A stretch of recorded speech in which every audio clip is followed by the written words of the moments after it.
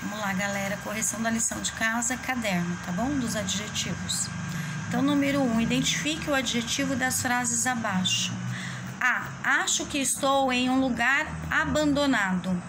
Então, você vai sublinhar a palavra abandonado, que esse sim é o adjetivo. Ele está acompanhando o substantivo lugar. Então, a função do adjetivo é sempre acompanhar o substantivo para poder qualificá-lo tá? Dá uma qualidade ou um estado.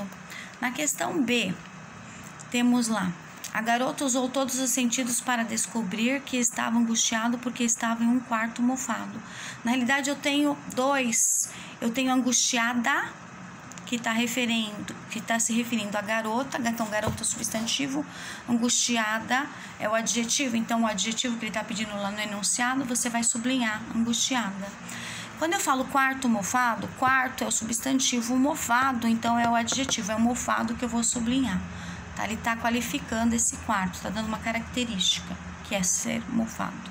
C. Sentiu que estava dormindo sobre algo áspero e enrugado. Neste caso, eu também tenho dois adjetivos, ele está sendo dividido pelo E, tá? Que é um conectivo. Duas coisas.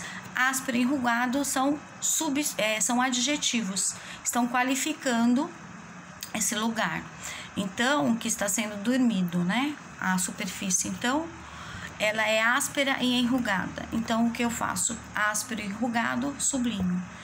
Próximo D. Ficou abandonado em algum lugar numa superfície plana.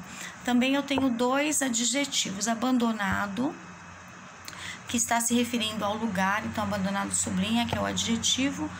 Quando eu tenho numa superfície plana, plana eu também sublinho, que é o adjetivo. Ele está acompanhando o que? O substantivo, que é superfície. Então, esse plana está qualificando, está dando uma característica à superfície. Que característica é essa? De ser plana, reta, tá bom?